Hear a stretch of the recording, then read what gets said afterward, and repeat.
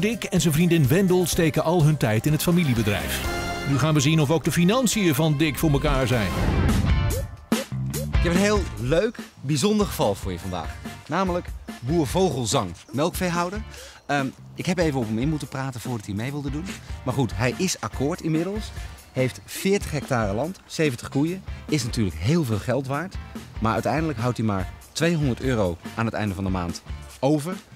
En daar doet hij ook zijn boodschappen van. Oeh, dat klinkt heel bijzonder. Dus Daar heb ik heel veel zin in. Ergens is nog Leuk. geld te halen. Ja, ik Iets- ben... Ik ga speuren. Op de laarsjes. Ja. Gaat u gang. Olk. Hallo. Hallo. Jij bent Dick? Ja. Ik ben Jacqueline. Hallo. Leuk volgende. Ik kom eh, hier om jouw eh, financiële gegevens te checken. Dus ik wil je hele doopcel eh, gelicht hebben. 2000. En ook je... Zit daar ook je aangifte?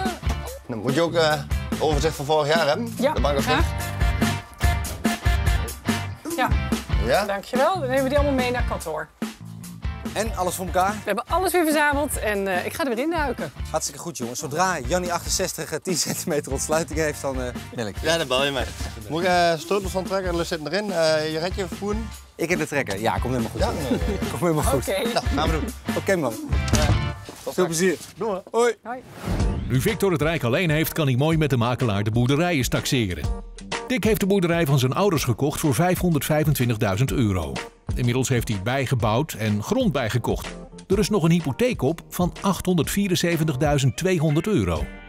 En ik wil natuurlijk van jou heel graag weten wat het waard is. Ja, ja. Nou, laten we eens even gaan kijken dan. We lopen er even omheen, Jan. Ja. Wat vind je van de rest van de staat van het huis? Nou, matig hè. Eh, ik, ik zag al wat, een paar settingscheuren. Op zich is dat niet, eh, niet erg bepalend, maar op zich moet die wel eens een keer weer bijgehouden worden. Ook het buitenhoutwerk, zoals ik het zie. Ja. Een eh, beetje opfrissen met de schilderbeur en hier en daar Hij wat heeft- hij heeft tijd bijplamuur. om te schilderen. Komt er niet aan toe. Nee. Je ziet het hier een beetje bij de, bij de fundering. Dat het een beetje uitzakt. Niet verontrustend, maar wel, vraagt wel eens een keer weer wat, eh, wat onderhoud. En dat geldt ook voor het dak. Ja. Ja, en dat zie je hier ook hè, bij eh dakgoot. Werk aan de winkel. Werk aan de winkel, eh, maar urgentie nummer 87 denk ik hier. Denk ik ook. Kom binnen. Ja, oké. Ga je gang. Hier rechts gaan we naar het, eh, het woonhuis. Je ziet gelijk al wel dat het eh een tikkie verouderd is. Maar dat, jij kent het beter dan ik. Dat is waarschijnlijk veel Dit is, dit is, dit is wel, wel gebruikelijk hoor, voor, voor landbouw. Het meeste, als er wat verdiend wordt, dan gaat het naar het achterhuis. En ik denk dat, eh, zoals ik het nu al bekijk, dat Dick ook zo'n man is dat hij het niet eh, geïnvesteerd heeft in het, in het voorhuis. Ik ben heel benieuwd. Maar ik ben benieuwd hoe hij het gedaan heeft. Ja. Of die het nog doet, weet ik niet. Maar laten we hopen dat we hem niet nodig hebben vandaag. Ik ga ervan uit. Het woonhuis. Qua ruimte is het op zich best Ja, ja, zeker, een zeker. fijne ruimte. Maar dit is eigenlijk maar bijzaken. Voor, de, voor, een, eh, voor een waardering van een bedrijf. Het is even een vluchtige blik er doorheen. En dan, ja, deze graad van luxe, die is ons bekend. Sommige mensen eh, kunnen misschien wel zeggen dat het sober is, maar ik heb, eh, ik heb naar mijn smaak eh, aangekleed. En ik vond het gezellig. Alles wat daar staat is niet helemaal mijn ding. Eigenlijk helemaal niet. Ik heb wel in het achterhoofd, het was toen mijn smaak. Als we samen verder gaan, dan eh, heb ik toch niks meer te zingen voorhuis. Dus dan zal er waarschijnlijk wel een kleurtje eh, veranderen, denk ik. Ja, komt wel goed. We hier de badkamer. Ja. Ah, mooi. De stijl van de jaren dat vader hier het zaakje ingebouwd heeft, denk ik. Ja. Ja. Nou, keurig. Maar alles functioneert, dus waarom zou je het eh, veranderen? Is, het is voldoende. Hiernaast de wc. Ja. Ja, hetzelfde stijltje. Zelfde stijl, zelfde tijd. Ja. En Bertha 44, Oh die leeft voort als kleed voor de toilet. Op deze iets wat krappe eerste verdieping, Jan, bevinden zich drie slaapkamers. Schuine wanden, hè? dat is altijd... eh, Ja, er zit, zit weinig ruimte in het pand. Als je nou voor het woonhuis alleen een bedrag zou moeten noemen. Ja. Eh, Ik zou de woning echt niet te hoger schatten dan 150.000 euro. Zou die op een andere plek staan, dan was het zeker een ton meer. Ja, Maar eh, het heeft zijn beperking omdat het bij de, bij de bedrijfsgebouwen staat. begrijp ik. Ja. Op naar de stallen. Mooie stal. Ja, het is nu een kalvenstal. Voorheen hebben ze hier ook de, heeft hier ook het melkvee gestaan. Dat kan ik wel zien aan de, aan de maten van de, van, de, van de lichtboxen. Dat zijn dus de lichtboxen waar de, waar de kalveren in liggen. Detail is, nou, er zitten rubber, rubber matten onder, dat ze lekker comfortabel kunnen liggen. Dus op zich is dit een hele goede huisvesting voor het jongvee. En dit is de, de dagelijkse Ja. kost. Nou, eigenlijk zijn dat de snoepjes. Dat is, je de, horen. dat is de snoeptrommel. Ja, zij horen natuurlijk dat je ermee rammelt, want doe, doe maar eens wat in de bak. En rammel er maar van mee. Ja, dan hoor je het wel. Zullen we laars aan doen? Ja, is goed. Doe je de laars aan of wil je mijn klompen lenen? Ik heb altijd beide bij me. Nou? Ik weet niet of het de goede maat is. 43, nou dat komt goed uit. Kijk dan. Toch hoor ik aan jou ook weer veel liefde voor de boerderij. Ja. Klopt dat? Ja, nou, ik kom natuurlijk van de boerderij. Tenminste, we hadden thuis ook een boerderij. Zowel koeien als varkens. Een beetje aan de kleine kant. Dat is ook een van de redenen van waarom ik eh, er wat dingetjes bij ben gaan doen. En eh, van het ene is het gekomen. Zodoende ben ik in de agrarische makelaardij gerold natuurlijk. Ja. Maar nu helemaal niks meer met de boerderij te Nee, we maken. hebben thuis geen boerderij meer. Nog wel wat grond, maar niet, eh, geen boerderij meer. Nee. Stal nummer 2. Oké, nou dit is de melkstal. Hier moet het verdiend worden. Is deze installatie een beetje van deze tijd? Nou, het is, het is wel alweer een beetje verouderd. Maar goed, de automatisering gaat snel. Tegenwoordig wordt er eigenlijk niet meer gemolken in, in melkglazen. Dat is eh, elektronische melkmeting. Maar dit functioneert goed. En het mooie is, je ziet, je ziet het resultaat. En de melk die komt in die glazen en dan zie je dat gewoon... Dat is wel mooi. Hij begint, hij begint helemaal te stralen. Ja, ja, ja. Maar wat kost zo'n apparaat nou als ik het wil aansluiten? Nou, als je de hele, deze hele installatie ziet, eh, dat is, kost wel meer dan een ton. Als je het nieuw, nieuw installeert. Zo. Maar daar moet het ook mee verdiend worden, hè? Vind je het goed als ik trouwens even de klompen uit doe? Want ik heb, ik heb nou al blaren en pijn aan mijn voeten. Het is wel even wennen, hè? Ik eh verruil ze voor de laarzen. Is goed. En dan wordt het hier allemaal in opgevangen. Ja, dit is de melkkoeltank. Wauw. Je weet natuurlijk wel dat melk van de koe komt. Maar... Ja. Maar dit is wel super vers, hè? En deze golfplaten unit. Dit is, eh, dat noemen we een zogenaamde Romney-loods. Hij heeft hem in gebruik, denk ik, als eh, landbouwmechanisatie. Opslag, mooie grote deur erin. Landbouwmechanisatieopslag. Ja. Ik Ga vanavond scrabbelen. Ja, ja, ja. Nou, je ziet het wel. Hij staat vol. En hoe noemde je dit? Een ronding? Romney-loods. Romney. Ik denk dat het duurste aan deze hele schuur is de deur die erin zit. Ja. Aan het eind van de dag, jongen, een Romney loods ben ik. Romney-loods. Kenner. Ja, ja, ja. Ja, als God in Zuidwolde. Jan, ja. prachtig. Hoeveel hectare grond heeft Dick? Hij heeft de 41, ruim 41 hectare in eigendom. Wauw zeg. Ja, Toch wel heel cool dat je gewoon kan zeggen achter je eigen huis. Nou jongens, dat 40 bunden. dit is van mij. Ja. Het is toch altijd goed om er even door te lopen. Dus ik stel wel voor dat we er even inlopen. En eh, normaal prik ik altijd even van eh, hoe, zit de, hoe, zit de grond, hoe ziet de grond eruit Ja. die eronder zit. Jawel, Heb je nog een voorbereid Heb je nog een op alles. Ik weet niet of je het ondertussen gezien hebt toen we hier naartoe liepen. Er zit vrij veel klaver in het Ja. gras. Dus Ik ben eh op zoek gra- naar de klavertjes 4 geweest. maar- graslandbeheer is goed. Ja. Nou, Oh ja, dat is, als er veel klaver is, dan is dat goed? dat, is, dat is een goed teken, ja. Oké. Staat hij in zijn colbertje met zijn laars aan? ja. Kijk, dan zie je al dat die geel Oh ja. wordt. Ja, ja, ja. En dan wordt de grond wat schraler. En als we nou even, dan kijken we even van. En hoe diep zit dat dan? Nou, dat zit dan ongeveer op 30 centimeter. Ja, Dus er zit toch wel zo'n laag eh, zwarte grond zit er bovenop. Dus dat is goed. dat is de goede grond. Dit is goede grond. Dus. Dus, bij makelaar Jan. Vertel eens even. Nou, Wat is de boel waard? Wat speeltje waard is. Nou, ik, eh, ik heb een hele goede indruk van het, eh, van het eh, complex. Vooral de grond. Goed. Ja. Goede kwaliteit. Voor mijn gevoel zijn de, zie ik de opstallen, het erf en de ondergrond ruim 5 ton, 5 en een kwart. Ja. Maar de grond, ja, daar zit toch echt de meeste waarde in. Ja. Er ligt toch wel voor een miljoen aan grond hier achter de boerderij.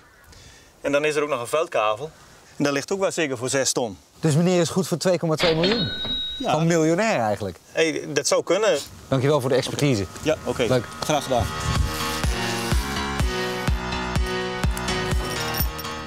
Ik denk dat ik het redelijk op orde heb en eh, dat ik eh, mijn dingetje, eh, nou ja, mijn boekhouding op zich goed eh, voor elkaar heb. Dus eh, ik denk dat het geen probleem is. Die bakkie. Laten we het hopen. We gaan eens naar de maandelijkse uitgaven kijken. De hypotheek bedraagt 5706 euro per maand. Gas, licht en water 1220. Dick heeft zich voor 74 euro verzekerd en de tractor leest die voor 1500 euro. Voer en bemesting 5600 euro, diesel 700 en kunstmatige inseminatie 600 euro. Dick heeft dan nog kosten van 1012 euro, totaal 16.412 euro. Dan de inkomsten. Dick draait een bruto omzet van 16.268 euro per maand. Kortom, het kan net niet uit. Dick, ik heb al je financiële papieren heb ik doorgenomen. Oh, oh. Nou, niet oh-oh. In die zin dat je eh, ja, winst maakt, wat natuurlijk eh, heel mooi is, zeker ook in deze Ja. tijd. Je bent zelfstandig boer. En eh, in één jaar tijd heb je toch een winst van zo'n 60.000 euro. Nou, als de belasting er nog afgaat, hou je zo'n 46.000 euro over in principe, Ja. privé. Ja. Dus je privé-inkomen. Maar toch kom je elke maand in de min. Klein beetje wel, ja. Ja, maar waar gaat dat geld dan, dan in zitten? Kun je dat uitleggen? Kosten. eh, je moet vernieuwen. Onderhoud plegen. Dus in principe ben jij je eigen investeerder. Dat heeft dus als consequentie dat je fors de min in gaat. Ja, in jouw boekhouding. In jouw boekhouding klopt dat. Dat klopt helemaal precies. Ja, dat is niet best. Ja, ja, ja. Ik ben toch gezond, arm, mager en, en gezond. Dan is toch goed. Voor elke liter melk die je mag verkopen, hè, daar moet je rechten voor kopen. Dat is vanaf 2015 is het zeg maar rechtenvrij. Dus iedereen mag dan melk gaan verkopen Ja, die een koe heeft. Als het aanbod heel hoog wordt, wordt in principe de melkprijs wordt lager. Dus dat zijn spannende tijden. Mm, ja, is, is op zich wel spannend. Niemand weet wat er gaat gebeuren. Nou, met altijd goed om wat geld achter de hand te hebben voor als toch dingen tegenlopen. Je hebt je ook verzekerd, heb ik gezien. Hè? Ja. Waarom eh, heb jij jezelf zo laag verzekerd? Ik heb mijn expres laag gehouden. Als ik een eh, een been breek, word ik uitbetaald. Maar als ik eh, echt eh nou ja, vlammingsverschijnselen krijg of andere dergelijke dingen, dan is dat geld lang niet genoeg. En dan? Dan- en dan kan ik toch geen boer meer wezen. Dan moet ik toch de toko verkopen. Ja. Erik, Hey Victor. kijk eens. Maatje 43. 43. Nou, jongen. Welkom op Platteland Dankjewel. in Zuidwolde. In het huis van eh, Dick en Wendel. Ik zeg er vast bij, de schatten liggen achter het huis. Wat meteen opvalt is, eh, ja, je hebt een schuur vol met eh, koeien. Ja. En wat doe je? Je hangt een schilderij met koeien. Dat zegt ook wat over de voorliefde natuurlijk voor de koe, hè? Hij krijgt er geen genoeg van. Nee, ik weet niet wat dit voor betaald heeft. Als ik het zo mag waarderen. Vind- ik vind het een leuk schilderij. En die kostte toen eh 70 gulden stuk of zo. 100 euro. Zo. De eerste honderd zijn binnen. Televisie. 150 euro. Kijk. Leuk. Ze hebben nog geen... Kijk nou. En je doet wat kapitaalontdekkingen. En het wordt opeens een heel duur lijstje. Zoveel heb ik meestal niet in huis. Dan hebben we hier de kast. De kerstbomen. Zet het muziekje er maar onder. Terwijl hij die gewoon op zijn land heeft, heeft hij die hier gewoon in plastic in een bak. Ja. Foei, dik. En we hebben hier nog wat zwaarden. Is dat toevallig een samurai zwaard uit eh, 1222? Nee, dit is geen samurai. Dat, dit, dit zijn gewoon, zover ik het kan zien, Nederlandse zwaarden. En ik denk dat dit... Wij kruisen de zwaarden. Ja, ik denk niet dat dit een... eh, dit zijn meer siersabels. Niks waard. Nou, eh, je mag ze beide gaan we ze waarderen. Voor 70 euro bij elkaar. Oké. Hangt hier nog een klokkie aan een paar hele leuke schilderijtjes. Die is van mijn grootvader geweest. Ah, ja, het is, eh, het is iets ouderwets en ik heb wel iets met het ouderwetse. Hier zit een keurtje in. Nou, dat betekent dat dit eh 14 karaats is. Nou, ik zeg, schrijf op in het boekje. En ik schrijf 400 euro op. Kijk, now we're talking. En hier een koeienklok in plastic. Of die ook zuinig is. Waarschijnlijk een relatiegeschenken. Ja, nou, een stukje plastic. Als de klok in de mooistal kapot gaat, dan heb ik een nieuwe. Nou, hypermoderne apparatuur. Nee, zo'n beeldscherm, daar wordt, dat wil niemand meer hebben tegenwoordig. Zelfs niet de jeugdsoos. Maar we gaan wel even in de keuken kijken of er misschien toch nog iets van vroeger ligt. Het antieke... Nou, dat ligt dus normaal in de keukenlijn. Iets van vroeger. Nou, we schrijven hem wel op, hè. Altijd 200 euro. Maar die is, dat is geen antieke. En nu moet je hem nog dicht krijgen ook. Loeder. Oh, Yes. nou, hier hebben we koeien. Daar een koe, daar een koe. overal een koe, koe. Koeien, bekers, mokken, theeglazen, theedoeken, handdoeken, satéprikkers, spaarpotten. Dat kan niet op. Nou ja, Ja, nee, ik, eh, een bed. dit is het. Nou, misschien kunnen we hier nog de ontdekking gaan doen. Je bent echt diehard. Oh, wacht, ik zie weer wat. Ik zie weer wat. Wacht, wacht, wacht. Ja, ja. je, je, je hebt er weer ontdekt. Jij hebt er een oog voor, hè? Hier nog een kamertje? Dat is volgens mij een beetje de jongenskamer. En hier kan je mee slapen, wij zeggen. Nou, wat dacht je van zijn ouders? Ze zitten hiernaast. Doe je dit echt altijd? Als, als- is dit jouw baan? Ja, want de ontdekkingen kan je toch vaak uit een gek doosje halen. Nou, Ja. in dit geval niet. Nee, het is het boete. Oh, De ja. de passie. Daar is ze. Nou, buitenseks. Kikken. Oh, ik lees wel eens over wat en eh heel rode oortjes ook. Maar ik ben een kerel, dus eh, het zal niet eh, ongezond zijn als ik dat niet doe. Hans van Willigenburg bedje. Kost dat? Dit? Nou, volgens mij moet je geld toekrijgen, want hier wil je niet meer onder liggen. Valt best mee. Soms een beetje last van de, van de rug. En een klein beetje warmte op de rug, dat zou dan heel goed moeten helpen. Ja, eh, super. Maar dat oude kring, dat doet voor geen meer. Ja, dit doet het wel, het brandt wel en vreet verschrikkelijk veel stroom. Dat helpt gif. Fluit.